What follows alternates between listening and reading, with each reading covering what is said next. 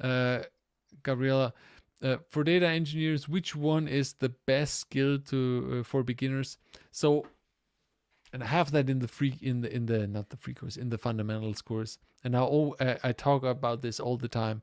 It's like the the two things I think are most uh, important for a for a data engineer is software development and especially especially coding python nowadays python last year uh, or uh, two years ago i would have told you and i have that in the in the cookbook java but java is like java is going away slowly um, because everybody's using python so coding in python and sql sql so relational database and the the SQL language, the stru- structured query language. These are the most, the two slash three if you if you if you make a split of of SQL, the actual language, and relational databases, building relational database, understanding how they work.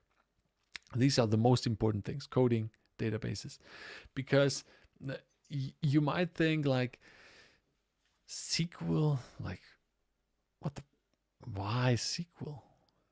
that isn't data engineering and, and, and data science about NoSQL and big data and like these these these crazy tools. Um, a lot of times you have to work with actual with with data that is lying around in somewhere within the company in a in a SQL database. And a lot of people know it and it's been here forever.